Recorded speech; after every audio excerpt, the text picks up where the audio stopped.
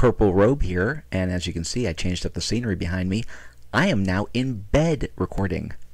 You can't stop me. Anyway, you're about to start chapter one of a book where I first dabbled in comedy. It's comedy, it's fantasy. There's a bunch of weird, funny, wacky characters. They're all searching for a magical hat that could be the key to ending the world as we know it. Check out chapter one of Madcap right now. And where the hell am I? thought Kelley, and not for the first time. He was here, wherever here was, and that was more than he could say for Malcolm or Ed Harwood. Where the hell were they?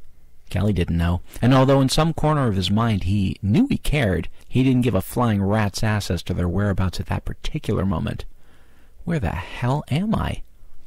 He hated walking through sand. He knew that. The grains got everywhere, in his boots, in his clothes.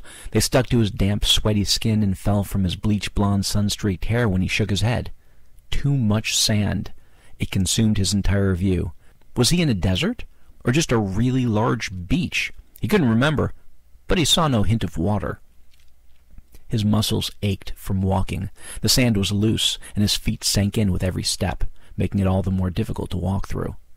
His eyes were closed, yet he continued traveling forward, the sun roasting him like meat on a spit. He had a hat lined with a towel which hung to his shoulders protecting the sides of his face as well as the back of his neck from the fierce penetrating rays of the sun, but that hat was long gone. He had lost it even before he had lost Ed Harwood. Where was that? Barbank? Kelley couldn't remember. His strength was ebbing. He could feel it like slowly losing chips in a poker game. Only now it seemed that he was gaining that money, having to add it coin by coin to a loaded bag that dragged him deeper and deeper into the sand. Somewhere in the distance he heard music. Or was that in his head? He was beginning to think that he may be losing his sanity. Kelley knew that the heat could have that effect. He wondered if it might not be better, as his body gradually gave out to allow his mind to slip out the back door. Malcolm had laughed when Kelley had lost his hat. He recalled that sound now, so pleasant and infectious. He wondered if Malcolm was laughing now, wherever he was, or even if he was still alive and able to laugh. Walking and walking and... Where the hell am I? The song, he realized, was Kashmir. He was quite sure of that, even though its origin was still a mystery. Trekking as he was, with that Zeppelin tune booming around him just seemed right to Kelley. He made a conscious decision to keep walking until the song ended, then rest. He needed water. Water, sleep, and food. Ha! What a joke. There were certainly no restaurants near, and to stop moving for even ten minutes in this place was dangerous. There were things out here who could sense when you stopped moving, things that wanted to eat you. But Kelley's mind was made up. When the song finished, he would stop. Perhaps he had overlooked something in his pack and there was water at hand after all. It had been such a long time since he had looked in there anyway, he couldn't rightly recall. Of course, he hated his pack. It reminded him of her, that damn perfume bottle that had shattered inside. There was nothing he could do to get rid of the smell. Other things about it jogged his memory, but he had no choice. He needed to drink. Definitely, when the song ends, he thought again. Would the song ever end? If he was going crazy, could he not keep that song repeating inside his head forever, or at least until he dropped dead from exhaustion, exposure, or starvation? The thought of death, his own death, had crept into his mind and savagely grabbed hold. But only for a moment, as his boot struck something hard that made a hollow oaken clumping sound. The music had stopped, and so had Kelley. He found himself, in the midst of this wild desert terrain, standing atop a large wooden door. Binky Turpin shifted in his chair. His legs had fallen asleep again, and so had his butt. As he pulled his back flush with the seat, he glanced briefly downward at the computer monitor. The cursor pulsed. The rest of the screen was blank, as usual. He turned his attention back to the screen above the monitor and used the remote control to rewind. He had missed the beginning of the best scene. Damn! Binky Turpin had fallen into this job quite by accident, but nothing, and he meant nothing, would make him give it up. Basically, he sat in an uncomfortable chair, this was the only drawback, in front of a computer monitor that did nothing but show a blinking cursor 24 hours a day, 7 days a week, while on a television screen above, a non-stop stream of pornographic videos allowed him to masturbate his shift away. His contract was for four years, and he had only a short time left until it was up. It was an easy job. As long as the cursor continued to blink, he had absolutely nothing whatsoever to do. The cursor had done nothing but blink since the power to the computer was turned on nearly 43,000 years ago. Binky's other computer interfaced with a mainframe in the outer continents. Anything he typed into the supply list would be processed and instantly teleported to his chamber, within reason, of course. On Binky's fourth day on the job, he had tried to teleport mass quantities of drugs and a few of his closest friends. After two days, his superiors had somehow found out, and all had been sent away. He now has an ongoing list of items the computer is not allowed to provide, including access to 900 numbers. After almost four full years alone in front of the screen, the only thing Binky asked for these days were meals and new pornos as they were released. He could hardly wait until his job was history and he could leave with his full wages intact. Since there was nothing to actually spend his money on and all his needs were met, you wouldn't think it would be too difficult of a thing to do. But then, Binky Turpin was not the smartest kid on the block. Other people had used this time to read the classics, meditate, or maybe write that great novel they never had the chance to get around to. Not Binky. He was a man of simple needs, and right now, he needed to watch this scene again. Binky had the film back to where he wanted it. It was his favorite part of the movie, where Lusty Throat Taker, the sex goddess of all United Core Planet, was having her body invaded by three brawny young men. Unfortunately, that was the exact moment that all hell broke loose. The Reality Controller Computer, or RC2000, basically measures any and all gaps and overlaps in reality in and around the 56 known planes of existence. It was created a long, long time ago, during the population explosion of 386. At that time, there had only been three planes of existence, namely the earthly, spiritual, and demonic ones. Interaction between the three was quite rare. In fact, the much publicized event where Snickerus Wiltbottom the Pure accidentally opened a gateway to the demonic plane that allowed four very horny demons onto Core Planet was the only known occurrence of this. The demons had seduced a great percentage of the population before Kingston Set of Arachnus and his small band banished them back to their own world and locked the gate after them. The children of women used by the demon led to the beginning of most evil in the world, as well as PMS. The men who had been so taken had formed babies in their stomachs, which could be the reasons for the offspring's sour disposition, and birthed them out their asses. These children eventually grew up to create a new form of evil called politicians. By 386, the universe in which Core Planet is the center had become so crowded that it was necessary to punch through to parallel dimensions.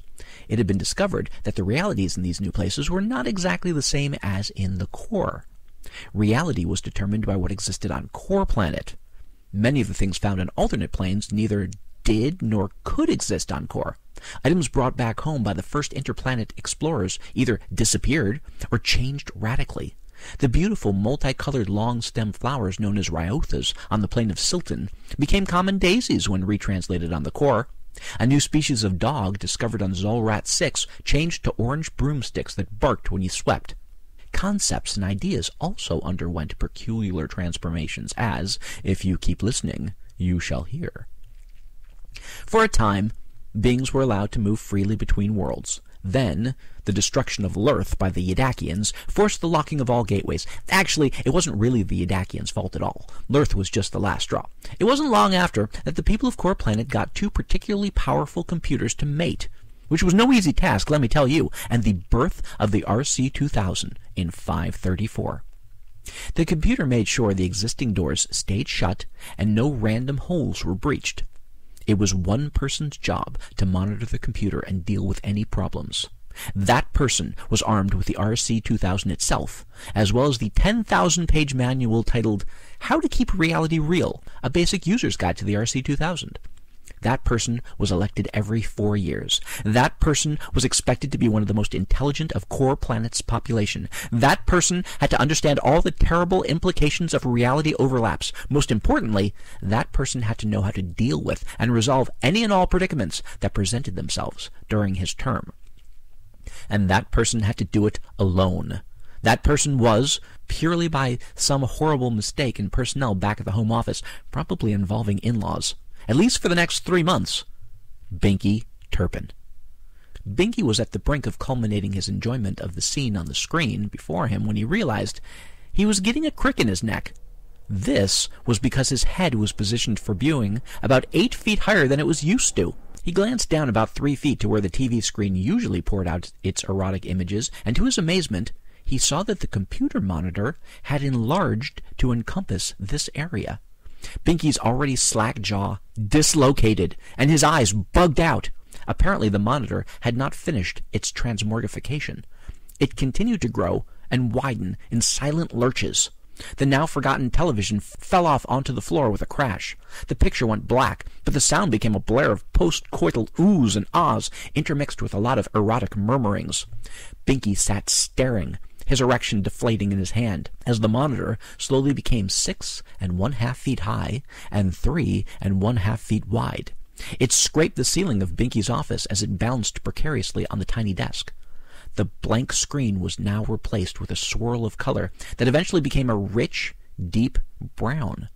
The cursor, that had normally just hung out in the middle of the screen, but had, last week, moved to the top left corner and then just yesterday to the middle of the bottom, slid to the middle of the right side and bulged grossly out of the screen until it resembled a doorknob. That's it, Binky thought. The monitor has become a giant door. His face scrunched into a nervous grin as he started to draw in a deep breath for what would surely have been the most wonderfully satisfying sigh of relief when the computer slash door swung violently open and Binky found himself no longer alone. Sand sprinkled over Binky in a thin silken mist. He had to squint as the sun he had not seen for nearly four years except on television poured its severe brightness through the doorway and into his retinas. Also, an overwhelming odor of sweat, salt, and sand attacked his nasal cavities, causing his already crinkled face to collapse inward in an attempt to fend off the affronting sense. There was a man in the doorway. He couldn't really see him because of the violent blaze of sunlight behind him, but he could hear him. The man was screaming. The scream sounded startled and terrified. Binky wondered why the man was yelling like that when he realized there was another noise in the room as well. The noise sounded surprisingly similar to the first screaming, only it was in a slightly higher timbre. It wasn't until the man in the brand new entrance slammed the door shut and Binky had a chance to calm down that he decided that the other scream had been his own. My God, thought Binky. So that's what happens when there are reality gaps. Holy shit, he breathed, his own voice strangely unfamiliar to him. He would have to do something immediately.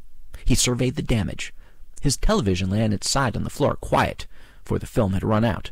The computer slash doorway was just a computer monitor again with a blank screen, except for the blinking cursor, which was now at the top, and followed by a single sentence, which read, There has been a gap in reality at coordinates V3, W17, X987686, Y635, Z9. Binky swiveled his chair around so he was facing the teleporter computer. He snuck one more peek back to survey the damage. He knew what needed to be done with all the assurance his brain could muster. He typed three words with his keypad, pressed send, and waited. These words were, Need new TV. That was chapter one of Madcap. Hope you enjoyed it. If you did, like, share, and subscribe to my YouTube channel. I got the first five chapters up on YouTube, and if you want to hear any more than that, check out my Patreon page. You know the way that works. I got all sorts of things on there uh, books, short stories, poetry, everything.